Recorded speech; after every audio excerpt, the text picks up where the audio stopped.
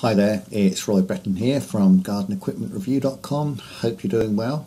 Uh, today, uh, this is a slightly longer video because um, I've just written a lawnmower buying guide uh, 2020 and there were so many machines on the market I thought I'd just put together an idea, just a, a brief description of the different types of mower available.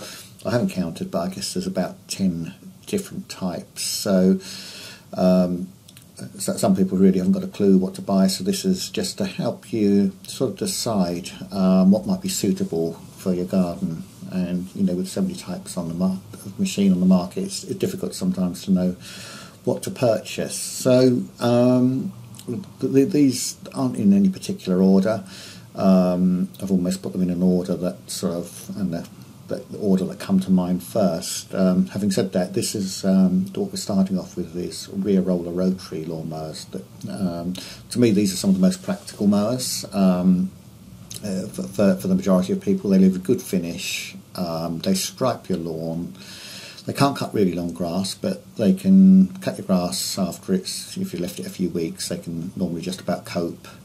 Um, very simple system. Uh, most of the more powerful petrol ones are roller driven. There are push models available and electric uh, push models, but they, they will still stripe your lawn. So you've got a roller under here. Um, the grass shoots out in, in, into the bag, and um, drive up, drive clutch up here. Um, a very simple principle, but but, but it works. Um, if the weather's really wet, these uh, these mowers can clog up. But um, for most people, this type of machine, a rear roller rotary, is a good type of machine for someone to buy. They, they vary in sizes from starting from around about 14 or 15 inches up to uh, 22 inch machines um, and also professional machines too. The price, price ranges are around about £300 to 15, something like that. Um, so that, that's a, to me that's that's a very good machine to have. I've used these type of machines all my life. This one here is a Weibang. I've used Hayters, Mountfields, Hondas, all, all sorts. So um, we've um, I put down here electric start or recoil start. Well, personally, I would have recoil start um, because modern engines are pretty easy to start, but there is the electric option if you prefer it. Um, obviously, costs a little bit more cost onto the machine, but not huge amounts. So uh, I'll just put a link here where you can find find more roller rotary mowers. Um, moving on, we come to hover mowers. The hover mowers were very popular a few years ago, but they're you still see them, but they're not used quite so much now. Uh, basically, they float on a cushion of air, and you're supposed to just be able to push them. Um, I think it's often easier to sort of pull them because then you're not pushing down on the cushion of air. But that's just my personal principle. Um, most of them don't have collectors, although some of the electric, small electric ones do. Um, one of the good things is for, for me for a Flymo is for doing banks. Um, you can uh, swing them around on a bank. I've actually seen people put ropes on their Flymo if they've got a really steep bank, so they can stand on the top of the bank and uh, just mow the bank from there, uh, which is a great idea as long as you take care. I think one of the reasons why these aren't quite so popular now, there's other machines that may have taken over, like a powerful brush cutter can trim a bank almost as quick as a Flymo. Uh, may not get quite the finish, but um, but they still have their uses and they're not bad value for, for money. They're, the Flymos uh, vary in width from about 10 inches to 20 inches. I'll put my famous eBay link in here. It's always good to look for mowers um, online um, or on eBay rather. Just be careful what you buy if you're second hand, but if you're buying second hand, because some machines aren't brilliant second hand. Sometimes you're better off just to buy new, look after it, and um, keep it for several years, and hopefully have a trouble-free life. So anyway, I put a um, a link to the, the hover mowers here.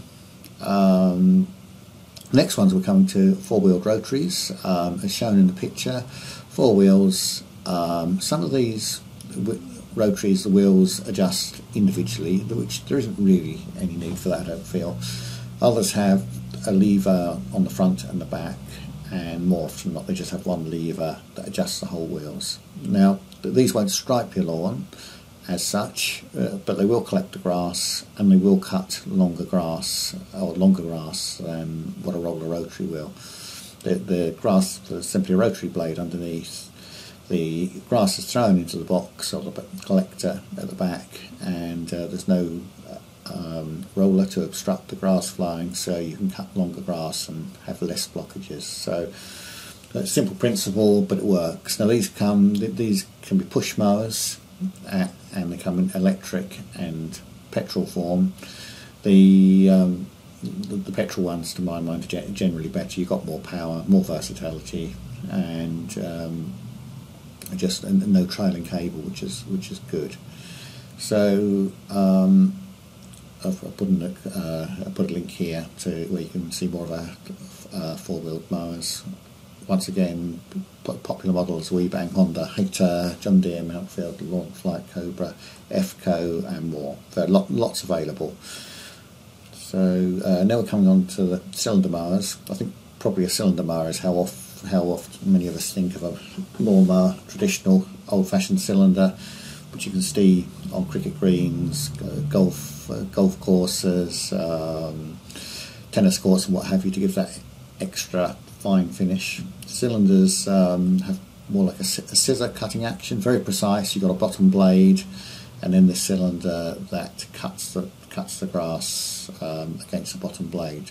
the, these machines um, got to be treated with care. For, for most people, I'd say a roller rotary is is almost better because it's a bit um, uh, for, for, you can cut sort of rougher lawns with it and, and get a reasonable finish. But I, if you are looking for a bowling green finish, then definitely a mower is the answer. So something like this, this is a, a 20 inch machine, nicely engineered by Allett. Um, it does a great job and you've got a machine there that will last you for many years.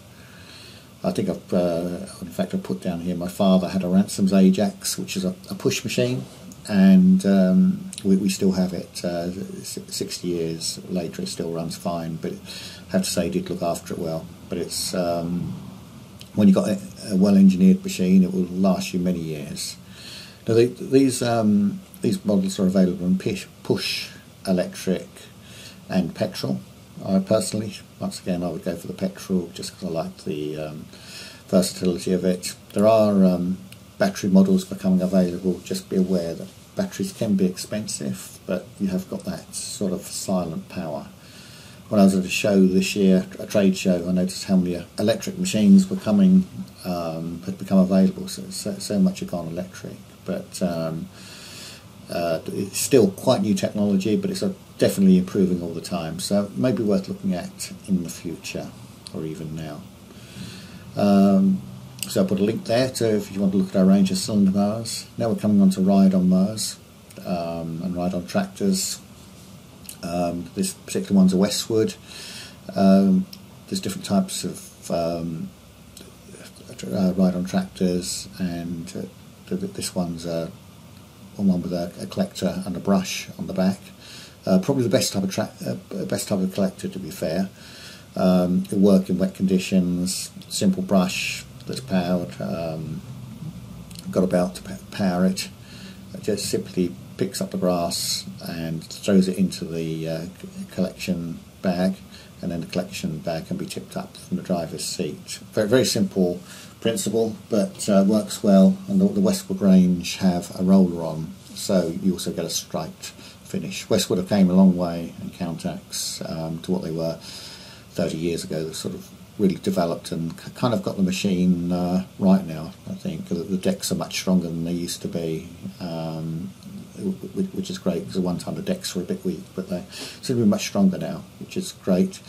Um, the other type of collectors can be you can get the type where they have a tube coming out the side here uh, from a side discharge and go up up here. But I wouldn't recommend that the, these uh, type of collectors. They block very easily, and the grass really has to be quite dry for them to work properly.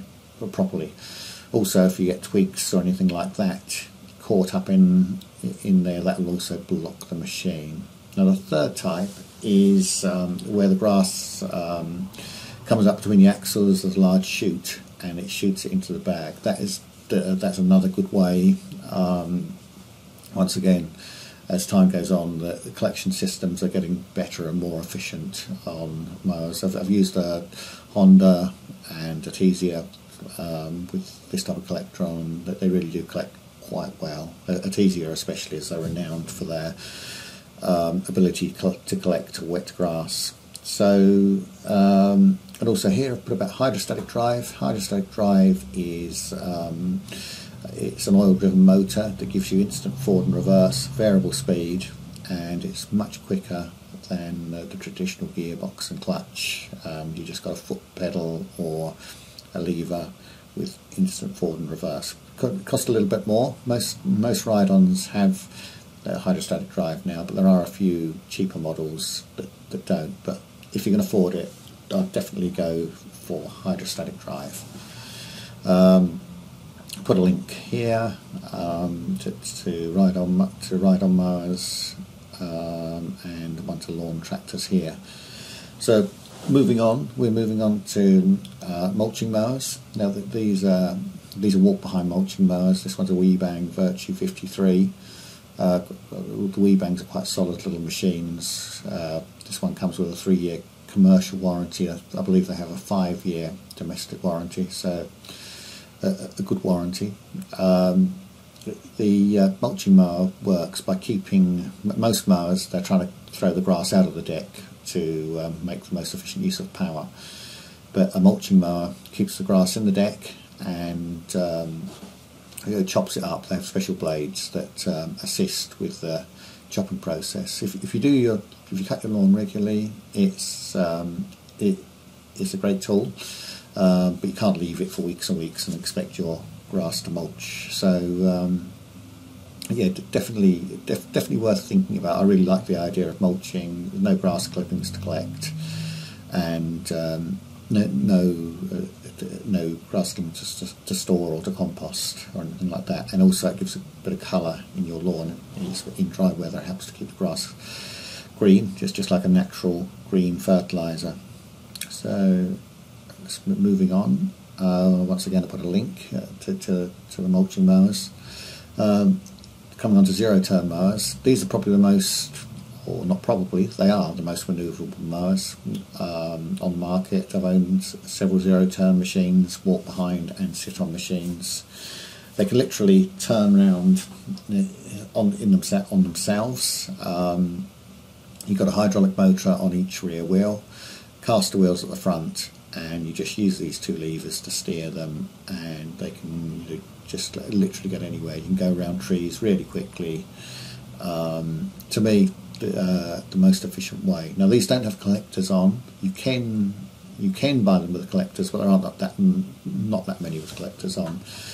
The, the best answer is to buy a mulching deck. They're readily available. You can also get side discharge or rear discharge, but I would definitely go for a mulching deck if you can, because um, once again, no grass to, to, to, pick up. It's actually quicker to go out and do your grass regularly with a zero turn because it, it, gets over the ground so quickly. It's, it really is no effort at all.